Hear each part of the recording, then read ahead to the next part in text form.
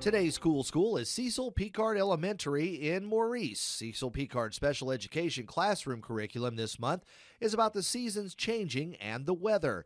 Recently, they had visitors from Canada. Students were able to share information about Canada's climate with them, and each day they explored a new topic about the weather. They've started reading forecasts and making predictions of their own. The students are hands on learners and benefit from non traditional learning opportunities such as this one. If you have a cool school, let us know. Send me an email, weather at katctv.com. Put cool schools in the subject line. Include a picture and a short story about why your school is cool. We do cool schools every Monday, Wednesday, and Friday.